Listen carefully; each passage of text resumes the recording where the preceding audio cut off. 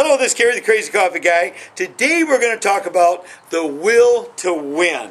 Okay, I'm going to use references from the book by Bob Richards, The Heart of a Champion. The reason why I'm going to tell these stories in different videos is this book has hundreds and hundreds of stories of athletes who overcame incredible obstacles to win and how they did it.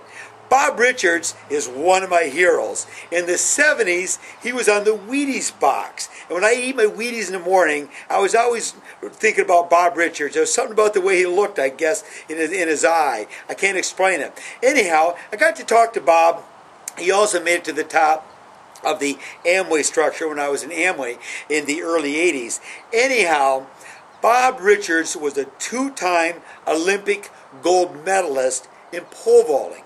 But he spent a lot of his years with athletes, and he just was intrigued by the will to win.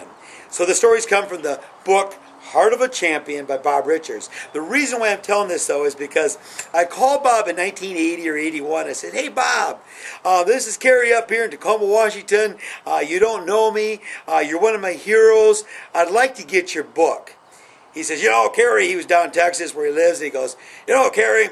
uh, I'm glad that you admire me, but um, anyhow, how can I help you, Cary? And I go, well, I just want your book. And he goes, well, uh, you know, I didn't take, take the proper time to promote it. I wrote that book and published it in 1959.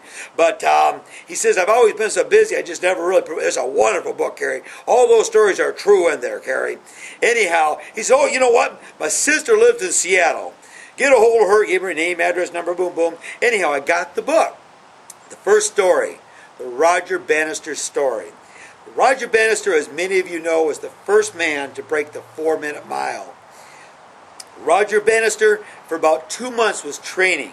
In his mind, he could visualize winning that four minute mile, or breaking that four minute mile. At that time, nobody had done it. There was actually a book written by a scientist over in Germany that says the body would collapse, it would explode before it could run that fast.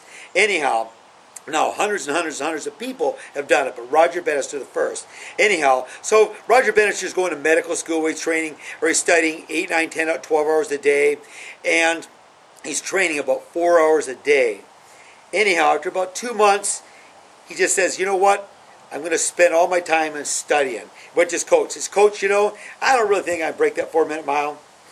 I just want to kind of give up the running deal, and here's the deal, coach. Um, I'm going to spend all my time studying to, you know, to be a medical doctor. Anyhow, so as coach goes, Roger, I see different. I see that you can break that four minute mile. So that night, as Roger's doing his, all his studying and that, he just keep visualizing it. Roger Bannister, 3 minutes 59 seconds, breaks the 4 minute mile.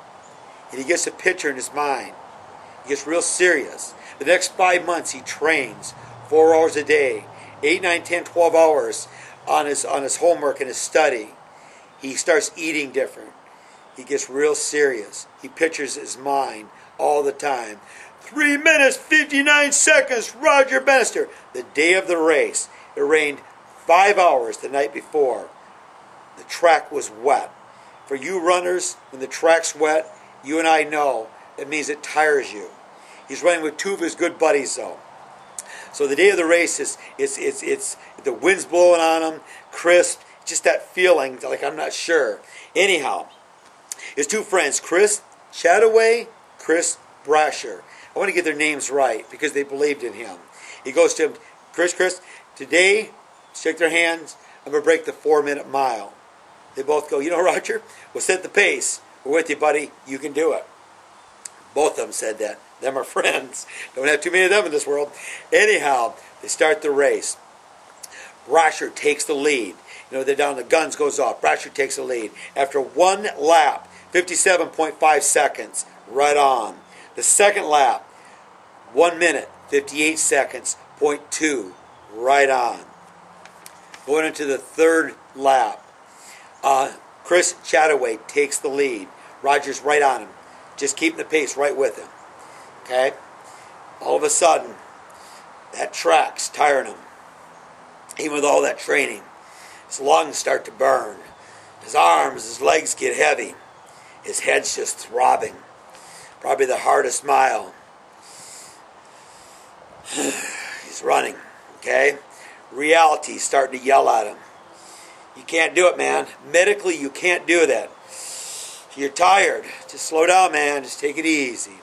Just slow down, man. Just take it easy. Slow down, man. You can't do it. Track sweat. You're tired. It's the fourth lap. Roger takes the lead. Body hits the wall. Lungs are on fire. Legs are noodles. Arms are tired. Reality talking to him again. Take it easy. You can't do it. You can't do it. Gets a picture in his mind. Three minutes, 59 seconds. Roger Bannister breaks it.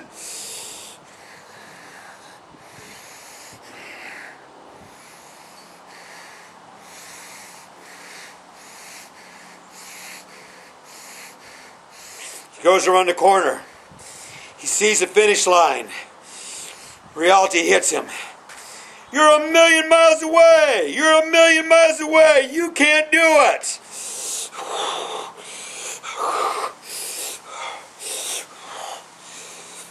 That crystal clear vision comes back. Three minutes, 59 seconds. Roger Bannister breaks the four minute mile. He raises his knees. He raises his knees. His arms are flowing. He's breathing just right. Three minutes, 59 seconds. Roger Bannister breaks a four minute mile. Roger Bannister breaks a four minute mile. He collapses in his coach's arms. You can do it, man. Okay? Crystallize it, baby. It's hard to do. a lot of force against you. About all of them. Reality. he was also a Christian man. The Lord helped him. He believes. I believe. That's up to you. Anyhow, I don't know why I threw that in, but you can do it. Hey, check out my web on um, my blog, crazycoffeeguy.com. Crazycoffeeguy.com. That's our blog. I also have a list of all sorts of other videos. I'm going to put a lot of videos from Bob's book here. Um, because I'll be honest with you, I'm not sure you get a hold of that book, but the reality is, it's packed with incredible stories. People that got in car rashes, their bodies crushed, came back for huge victories. People born with polio, couldn't even move their legs and arms. Anyhow, love you, gotta go.